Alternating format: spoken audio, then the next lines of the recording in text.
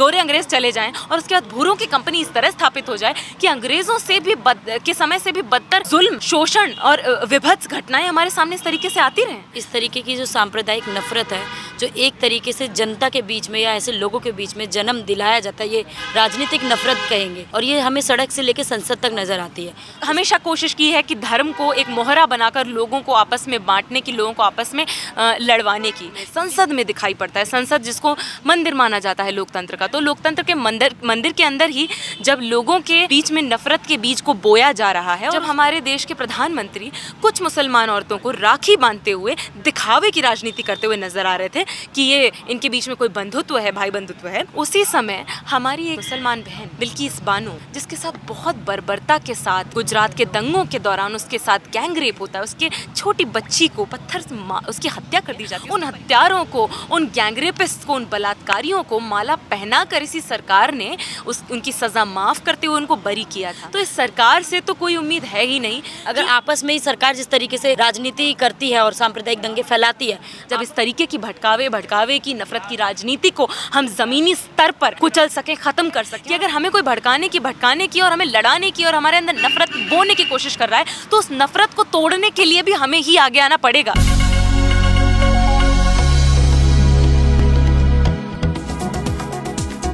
नमस्कार मैं हूँ नूरजहां आपके साथ और हम इस वक्त मौजूद हैं विश्वविद्यालय में जहाँ पे 12 घंटे की भूख हड़ताल जारी है जहाँ पे ये भूख हड़ताल की जा रही है जो दिल्ली के सुंदर नगरी में एक युवक को केला चुराने से मंदिर से केला चुराने में पीट पीट के हत्या कर दी गई एक पोल पे बाँध के तो उसी को लेके हम बातचीत करेंगे इसी मुद्दे पर तो आपका क्या आ, मैं दिनेश हूँ और आज हम ये अनशन कर रहे हैं। कि जिस तरह की सांप्रदायिक तनाव बना हुआ है देश में, और देश में जब हम बात कर रहे हैं तो सही बात है समाज में बना हुआ है, और इसका एक रूप हमें दिखता है सुंदर नगरी की इस घटना में, और जिस तरह से बे बेदर्दी से उस इंसान को पीटा जा रहा है, उस बच्चे को पीटा जा रहा है, ठीक है। आसपास खड़े लोग मुँह होकर तमाशा देख रहे हैं। तो ये हमारे संवेदनाओं को ठेस पहुँचाने वाला वीडियो था और हमारे भावनाओं को आहत करने वाला और समाज में नए तरीके के तनाव पैदा करने वाला। तो हम इस सांप्रदायिक माहौल के खिलाफ हैं, हम इस सांप्रदायिक तनाव के खिलाफ हैं। हम कौमी एकता, हम कौमी भाईचारे की बात करते हैं और हम चाहते हैं समाज में, चाहे कोई भी सरकार हो, चाहे किसी का भी सत्ता हो, चाहे दिल्ली में हो, चाहे राजस्थान में हो, चाहे कहीं पर भी हो, इस तरह के सांप्रदायिक तनाव या इस तरह के हमले किसी जाति विशेष के किसी धर्म विशेष के व्यक्ति पर नहीं होने चाहिए। हम इसका भर्सना करते हैं और इसी कारण से आज हम यहाँ पर एक अनशन में यहाँ बैठे हैं। तो जो ये भूख हड़ताल को लेके जो आप कर रहे हैं तो आपने 2 अक्टूबर का दिन ही क्यों चुना? देखिए बीते दो दिन में बीते दिनों में जो घटना हुई है उस घटना के क्रम को जब हम देखते हैं तो भारत के इतिहास का जो सबसे दर्दनाक सांप्रदायिक तनाव का दौर रहा है, उन्नीस सौ सैंतालीस का दौर। उस दौर में जो तमाम सांप्रदायिक तनाव को दूर करने के लिए जो तमाम ताकतें काम करती हैं, उनमें से एक नाम महात्मा गांधी का आता है। तो जब 2 अक्टूबर का दिन आ रहा था, वो जब एक दो दिन पहले हुई है तो उस दिन में हम उन्नीस सौ सैंतालीस में सांप्रदायिक दंगों को रोकने में जो उनकी विरासत रही है, हो सकता है लोग उनसे सहमत हों, असहमत हों तमाम दूसरे मुद्दों पे, लेकिन जो सांप्रदायिक तनाव को रोकने के लिए, सांप्रदायिक दंगों को रोकने के लिए जो उनकी भूमिका रही है उसके साथ उस, उसको याद रखते हुए इस, और आज के दौर में जो सांप्रदायिक तनाव फैलाया जा रहा है, खास करके जब हम इस घटना को देखते हैं और ख़ास करके जब हम तमाम जो घटनाओं की सीरीज़ को देखते हैं, चाहे वो छात्रों छात्र को स्कूल में पीटा जाना उत्तर प्रदेश में हो चाहे उत्तरकाशी की घटनाएँ हो या तमाम घटनाएँ जो हमारे सामने देखी जा रही हैं, जो नफरत फैलाया जा रहा है, सरकार के द्वारा, मीडिया के द्वारा, उससे लोगों में जो एक नफरत आ रही है, उसके लिए कि हम एक समाज के तौर पे हम,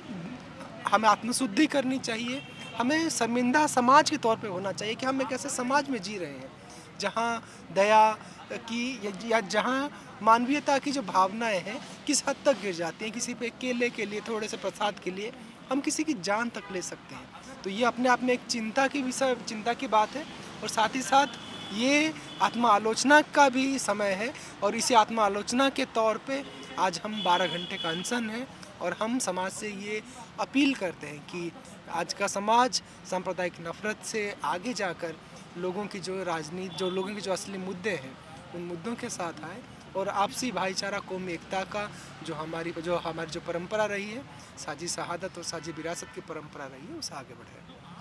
तो जो ये 12 घंटे से भूख हड़ताल चल रही है तो इसमें आपने अभी तक कुछ भी नहीं खाया है? जी नहीं आज सुबह के नौ बजे से आज रात के नौ बजे तक हमने ये बारह घंटे का छात्र अनशन आयोजित किया है। ये पहला कदम है बहुत आगे आ, आगे हमें और बहुत सारी चीज़ें करने की ज़रूरत है और हम करते भी आए हैं।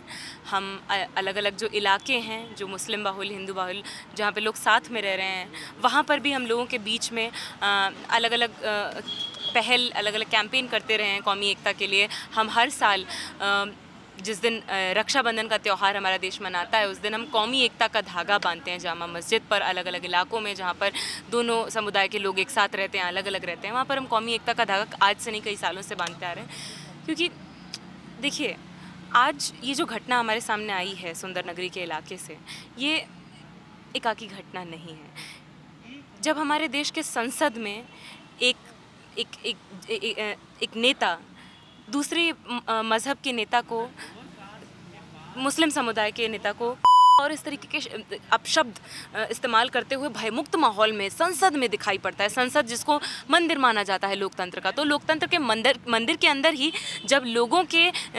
बीच में नफरत के बीज को बोया जा रहा है और उसको सैंक्शन दिया जा रहा है, उसको सरकारों का समर्थन दिया जा रहा है, पीछे बाकी नेता, बाकी एमपी हँसते हुए नज़र आ रहे हैं और उन पर कोई भी कार्यवाही नहीं की जाती है। वो भयमुक्त माहौल में इस तरीके की बयानबाजी करने के लिए और लोगों के अंदर नफरत के बीज बोने के लिए जब मौजूद हैं, उसी का हमें एक परिणाम स्वरूप इस तरीके से हमें ज़मीनी स्तर पर ये सुंदर नगरी की घटना यूपी में, चाहे एक छोटे से बच्चे को, एक स्कूल के अंदर मुसलमान बच्चों को बाकियों से पिटवाया जाना हो पिछले साल हमने देखा, आज़ादी का अमृत महोत्सव ये देश मना रहा था। पचहत्तर साल का सरकारें कह रही थी कि आप अमृतकाल में जी रहे हैं और उसी देश में, उसी संध्या पर जब हमारे देश के प्रधानमंत्री कुछ मुसलमान औरतों को राखी बांधते हुए, दिखावे की राजनीति करते हुए नज़र आ रहे थे कि ये इनके बीच में कोई बंधुत्व है, भाई बंधुत्व है, उसी समय हमारी एक मुसलमान बहन बिल्किस बानो जिसके साथ बहुत बर्बरता के साथ गुजरात के दंगों के दौरान उसके साथ गैंग रेप होता है उसके छोटी बच्ची को पत्थर से उसकी हत्या कर दी जाती है उसके परिवार के कितने जनों की हत्या कर दी जाती है उन हत्यारों को उन गैंग रेपिस्ट को उन बलात्कारियों को माला पहना कर इसी सरकार ने उस उनकी सज़ा माफ़ करते हुए उनको बरी किया था। तो इस सरकार से तो कोई उम्मीद है ही नहीं कि किसी तरीके की अ, अ, कौमी एकता की मतलब लोगों के असल मुद्दों पे राजनीति की बात करें तो हमारे यहाँ से ये ये हमारी पहल कदमी है कि सबसे पहले अपने, एक तौर पर, एक समाज के तौर पर भी हम शर्मिंदा हैं कि हमारे समाज में इस तरीके की घटनाएँ हमारे सामने हो रही हैं, जहाँ पर आम लोग इस तरीके की घटनाओं में सम्मिलित पाए जा रहे हैं। तो इस तरी, सबसे पहले हमें हमें एक अपने मस्तिष्क को इस तरीके की राजनीति से डिकॉलोनाइज करना पड़ेगा। कई बार ये बात कही जाती है कि भटकावे की, भड़कावे की राजनीति बंटवारे की राजनीति, फूट डालो और राज करो की राजनीति केवल अंग्रेज़ करते आ रहे थे, ऐसी बात नहीं है। भगत सिंह जिनकी अभी कुछ दिनों पहले उनकी बर्थ एनिवर्सरी थी वो ये बात कहकर गए थे कि वो ऐसे भारत का सपना नहीं देख रहे थे ऐसे भारत के लिए उन्होंने शहादत नहीं दी थी जिस भारत में भूरे गोरे अंग्रेज़ चले जाएँ और उसके बाद भूरों की कंपनी इस तरह स्थापित हो जाए कि अंग्रेज़ों से भी बद के समय से भी बदतर जुल्म शोषण और विभत्स घटनाएँ हमारे सामने इस तरीके से आती रहें। तो इसलिए उनके सब उनके आदर्शों को उनके उनके संघर्ष को उनके सपनों के भारत को आज हमें ध्या, ध्यान करते हुए ये ये बात समझने की ज़रूरत है कि हम एक दूसरे के साथ एक दूसरे अलग अलग कौमों में एक दूसरे के साथ मिलकर ही अपने असल मुद्दों पर हम संघर्ष करके तो मतलब आपको लग रहा है जो मोदी जी हैं वो धर्म की राजनीति कर रहे हैं नफरत की राजनीति कर रहे हैं? देखिए केवल मोदी जी की बात नहीं है। आप इतिहास गवाह रहा है चाहे राजा हों चाहे महाराजा हों चाहे अलग अलग सरकारें हों चाहे कोई ब्रिटिश कंपनी हो लोगों ने हमेशा कोशिश की है कि धर्म को एक मोहरा बनाकर लोगों को आपस में बांटने की लोगों को आपस में लड़वाने की। लेकिन यहाँ से हम ये कहना चाहते हैं कि लोगों को ये बात समझने की ज़रूरत है आप केवल एक मोहरा या हथियार नहीं हैं। आप लोकतंत्र का जो लोक शब्द है उसको आप बनाते हैं उसको आप कंप्राइज करते हैं। आप इस डेमोक्रेसी के पिलर्स हैं। ये सरकारें इस डेमोक्रेसी की पिलर्स नहीं हैं। तो आपको आप, आप इस इस इस लोकतंत्र की जीवात्मा आपको इस बात को समझने की ज़रूरत है कि अगर हमें कोई भड़काने की भटकाने की और हमें लड़ाने की और हमारे अंदर नफरत बोने तोड़ने की कोशिश कर रहा है तो उस नफरत को तोड़ने के लिए भी हमें ही आगे आना पड़ेगा। वरना हम ये सोचते रहें कि हम अपने अपने किलों में अपने अपने घरों में अपने अपने स्कूलों में अपने अपने वर्क प्लेसेस में हम बेखौफ रहेंगे हम सुरक्षित रहेंगे हम एक बेहतर भारत में जी पाएँगे तो ऐसा संभव नहीं होगा। जिस बेहतर भारत बेहतर समाज की आप कल्पना करते हैं सपना देखते हैं जिस बेहतर रोज़गार के बारे में आप सप, सपना देखते हैं बेहतर शिक्षा का सपना देखते हैं उसके लिए हमें संघर्षों में साथ आना पड़ेगा और संघर्षों में तभी साथ आ पाएँगे जब इस तरीके की भटकावे भटकावे की नफरत की राजनीति को हम ज़मीनी स्तर पर कुचल सकें ख़त्म कर सकें और अपनी गंगा जमुनी तहजीब को अपनी कौमी एकता की विरासत को दोबारा स्थापित कर सकें। और असल मुद्दों पर हम सरकार को अप, अप, अप, अपनी मांगों को अपने अधिकारों को हमें हासिल करने के लिए हम मजबूर कर पाएँ। तो आप क्या करेंगे अगर आपकी मांगे नहीं पूरी की जाती हैं? देखिए ये हम हम लोग ज़मीनी स्तर पर संघर्ष में केवल इस घटना के समय के होने के बाद से हम शामिल नहीं हुए हैं। इस देश में ये वो देश है जहाँ पर चाहे शिक्षा हो इस यूनिवर्सिटी में एडमिशन ले पाना हो स्कूल तक पहुँच पाना हो हर एक अधिकार जनता ने लड़कर जीता है और उस उस, उस संघर्ष में हिंदू भी शामिल रहा है, मुसलमान भी शामिल रहा है। हर समुदाय से आने वाली महिला आदमी, बच्चे सभी शामिल रहे हैं, सभी का खून शामिल रहा है। तो हमारे जो अलग अलग संघर्ष हैं, चाहे वो समान शिक्षा का संघर्ष हो, सभी के लिए केजी से लेकर पीजी तक public public funded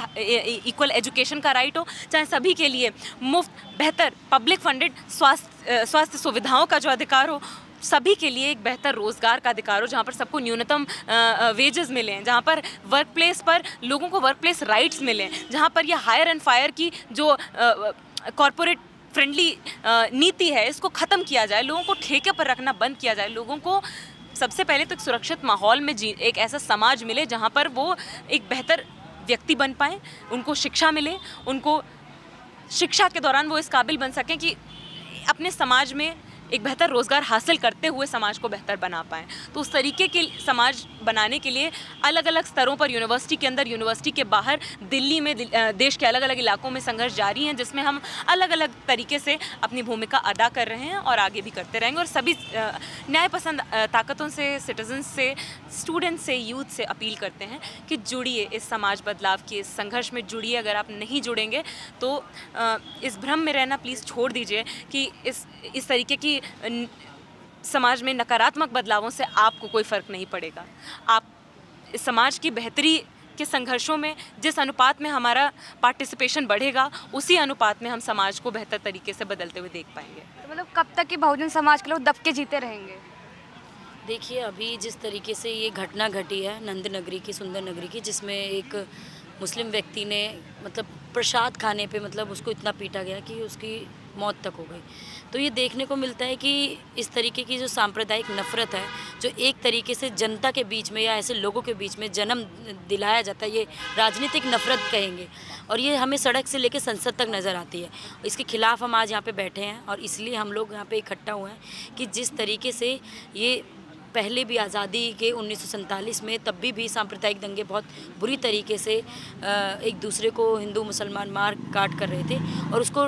शांत करने के लिए लोगों ने आंदोलन किया। हिंदू मुसलमानों ने एकजुट होकर जो लड़ाई जीती थी, उस चीज़ को याद करते हुए हमें एक, जैसे कि सावित्री और फातिमा ने भी शिक्षा के लिए बहुत संघर्ष किया। ऐसे राम प्रसाद बिस्मिल और अलग अलग जो क्रांतिकारी लोग थे जिन्होंने संघर्ष में कौमी एकता की बात को कहते हुए ये कहा कि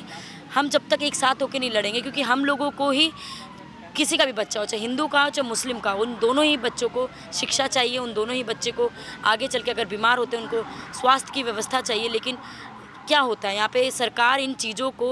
दबाने के लिए इन चीज़ों पे पर्दे डालने के लिए जानबूझ करके ऐसी सांप्रदायिक नफ़रत को पैदा करती है ऐसी सांप्रदायिक नफ़रत के बीज बोती है जो हमें आज भी इस ये जो नफ़रत है ये आज भी इसका सिलसिला तेज़ी से बढ़ता हुआ इस समाज में आपको क्या लग रहा है? जो सरकार है वो आपकी बात सुनेगी? देखिए ये सरकार से ज़्यादा हमें अपने जनता में जो लोग जिन्होंने ये उम्मीद करके कि हम अपनी जो लड़ाई जीते हैं, उसको बचाए रखने के लिए और आगे अपना समाज में जो कौमी एकता की जो पहल है, जो पहले से चली आ रही है, हमारे जो पूर्वजों ने जो लड़ाई लड़ी है, उस चीज़ को बचाए रखने के लिए हमें पब्लिक पब्लिक का सपोर्ट या पब्लिक को मिलकर के ही आगे एकजुट होकर के अपने अधिकारों को जीतना पड़ेगा। क्योंकि देखिए हम आपस में लड़ेंगे तो हम सरकार से नहीं लड़ पाएँगे कि हमें भी शिक्षा चाहिए। आपस में लड़ेंगे तो हम अपने रोज़गार की बात नहीं कर पाएँगे महिला सुरक्षा की बात नहीं कर पाएँगे। और इस तरीके से जो महिलाओं को तो आरक्षण दिया गया है ना? देखिए आरक्षण की बात अलग है। जिस तरीके से किसी भी स्तर पे अगर महिला फैक्ट्री में काम करती है चाहे वो हिंदू परिवार से हो चाहे मुस्लिम परिवार से हो शोषण तो उसका होता ही है। मालिकों के खिलाफ अगर वो एक साथ होकर नहीं बोलेंगी अगर आपस में ही सरकार जिस तरीके से राजनीति करती है और सांप्रदायिक दंगे फैलाती है, आपस में हम लड़ लेंगे तो हमारी बाकी के जो मुद्दे, जो ज़ाहिर सी बात है, दोनों हिंदू हो चाहे मुसलमान हो चाहे किसी भी धर्म का, उनको चाहिए। एजुकेशन में जिस तरीके से हायर एजुकेशन में पहुँचने वाले लोगों की संख्या कम है, बहुत कम संख्या में स्टूडेंट पहुँच रहे हैं। और नहीं पढ़ेंगे, नहीं आगे बढ़ेंगे, इस चीज़ों को नहीं समझेंगे, तब तक हम इन्हीं झगड़ों में फंसे रह जाएँगे। और ये हम पूरी जो भी पब्लिक है, जनता है, उनको ये संदेश देना चाहते हैं, हम एकजुट होकर नहीं लड़ेंगे तो अपनी आगे की लड़ाई लड़ाई नहीं जीत पाएँगे। तो इसलिए हमें जीतने के लिए एक साथ आना पड़ेगा, लड़ना पड़ेगा और अपने क्रांतिकारी जो लोग थे जिन्होंने लड़ करके हमें जो अधिकार हासिल किया उसको बचाने के लिए भी और आगे के अधिकार को पाने के लिए भी हमें बहुत बड़ी संख्या में सड़क पर उतरना पड़ेगा। जनता आपके साथ जुड़ पाएगी? बिल्कुल ऐसा पहले भी हुआ है और अभी भी ऐसा नहीं है कि बदलाव नहीं हुआ है। लड़ाई में भले कि, कितने दंगे होते हैं जो होता है मुसलमान बगल में घर है तो बचाने के लिए आता है ऐसी बात नहीं है। साथ में उनकी दोस्ती होती है लड़ते हैं साथ में एक एक दूसरे को बचाते भी हैं। जैसे किसी परिवार से किसी से झगड़ा होता है पड़ोसी में अगर मुसलमान है तो वो साथ में आके बोलता है ऐसी बात नहीं है। लोग अपनी संवेदनाओं को तो नहीं खो देंगे ना, वो दिखता है। वही सरकार इस चीज़ को ख़त्म कर देना चाहती है और इसको हम इस तरीके से ऐसे आसानी से जाने नहीं देंगे और जो हमारी कौमी एकता है, उसको हम आगे ले जा करके और साथ में ये संदेश देंगे कि हम जब तक एक साथ नहीं होकर लड़ेंगे, तब तक सारे अधिकार हम नहीं ले पाएँगे। तो मतलब जैसा कि आप देख सकते हैं, यहाँ सुबह नौ बजे से लेकर अभी रात के नौ बजे तक भूख हड़ताल चलेगी। एक युवक को, जो बच्चे को मार दिया गया है, उसी को लेके ये न्याय दिलाने के लिए भूख हड़ताल कर रहे हैं। तो आगे की जानकारी के लिए बने रहे हमारे साथ।